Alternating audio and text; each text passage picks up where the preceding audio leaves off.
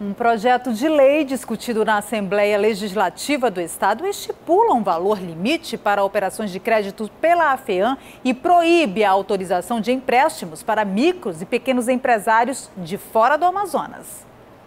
O projeto de lei estabelece um teto máximo de 100 mil reais para o financiamento pela Agência de Desenvolvimento e Fomento do Estado. O texto é da relatoria do deputado Serafim Correia e foi aprovado semana passada pela Comissão de Constituição, Justiça e Redação. A proposta segue agora para a Comissão de Assuntos Econômicos da Assembleia Legislativa. Pelo projeto, a agência fica proibida de conceder empréstimos a micros e pequenos empresários que não sejam do Amazonas. A ideia é fazer o recurso girar dentro do Estado e também para um maior número de pessoas.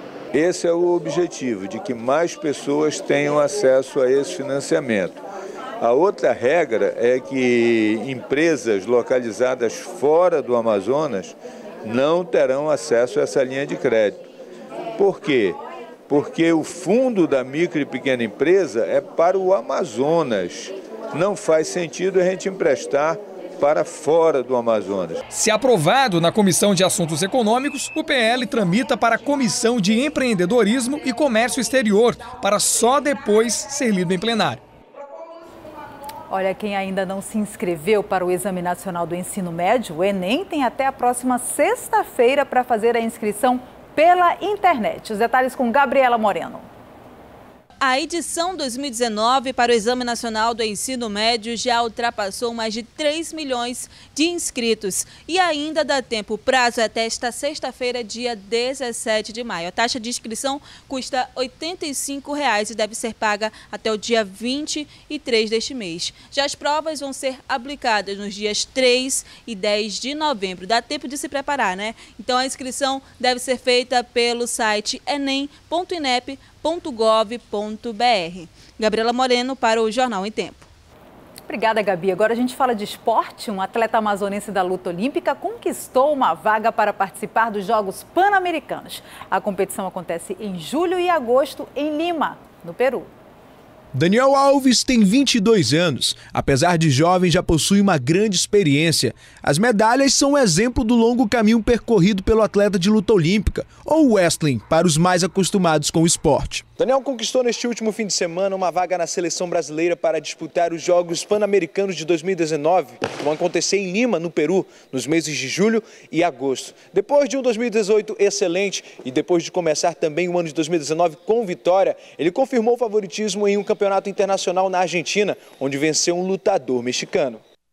Infelizmente eu não consegui medalhar, mas eu consegui um resultado muito bom em ter classificado focar agora nos jogos. Mês que vem vai ter uma outra seletiva, onde eu tenho que assegurar minha vaga, que vai ser no Rio de Janeiro, o brasileiro sênior, de luta olímpica. Depois de cinco anos de trabalho duro, o atleta conseguiu uma vaga para disputar os Jogos no Peru e a expectativa é grande. Eu vou tentar, vou me esforçar. Meu, meu treinador, tá, meu, meu treinador, meus amigos de treino estão me cobrando muito. E se Deus quiser, vai estar tudo certo. A mãe fala com orgulho do filho e conta que fica com o coração apertado toda vez que o menino tem a viagem marcada para disputar alguma competição. E ele viajou sozinho e eu fiquei muito preocupada e ligava bastante, né, para ver como é que ele estava lá, como foi lá. Era assim. Eu tenho muito orgulho do meu filho, né? O importante é que na volta dos campeonatos o jovem sempre traz uma medalha no peito e a mãe, claro, fica feliz com o sucesso do filho. Dá vontade de chorar, né? dói no coração, né? Que mãe é assim mesmo, né? Mas eu gosto muito do meu filho e graças a Deus ele tá tá indo numa carreira boa, né? Eu não quero que ele desista nunca, né? Sempre tem gente que diz assim que é para ele desistir, né? Mas eu digo, eu digo sempre assim para ele que não, que ele tem que continuar e para frente, né? Que é para frente que a gente anda, né? A mãe não é a única que torce pelo sucesso do atleta. Os amigos de Daniel, também praticantes do wrestling, sempre apostaram muito nele. Nós somos um time, a gente trabalha um em prol do outro, porque a luta em si ela é um esporte individual, mas se não existisse treino coletivo, isso não ia ser possível. Então, graças a Deus, eu pude ajudar ele na preparação dele e eu me sinto bastante feliz por essa conquista dele. Espero ele trazer mais novos resultados aqui para o Amazonas. Agora é torcer para que o Daniel traga uma medalha de ouro para o Amazonas e para o Brasil. Jornal em Tempo termina aqui com imagens ao vivo da Avenida Humberto Calderaro, que só deve ter esse trecho liberado após as 10 horas da noite. É é a previsão da empresa abastecedora de energia elétrica. Uma boa noite para você e até amanhã.